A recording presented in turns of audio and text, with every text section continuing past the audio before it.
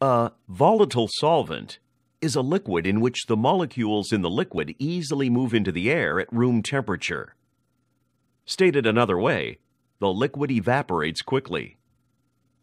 For example, a tablespoon of water dropped on cold concrete will create a dark spot which will last for several minutes before drying or evaporating away.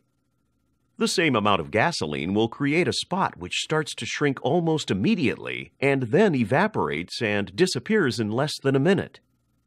Gasoline is therefore a more volatile liquid than water. Other examples of volatile solvents include paint thinner, acetone, toluene, turpentine, and ethanol.